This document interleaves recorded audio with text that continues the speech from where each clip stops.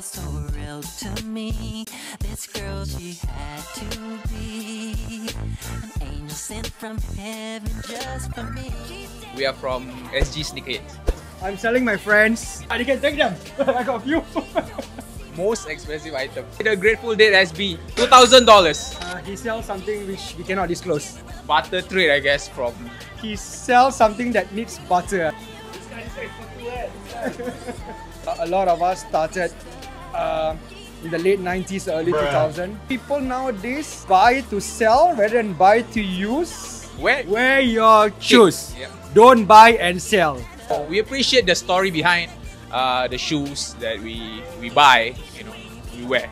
So his pair, Air There's Force One only- PlayStation, there's only three people I think that has in Singapore. a total of 50 worldwide. So it's a collaboration with uh, PlayStation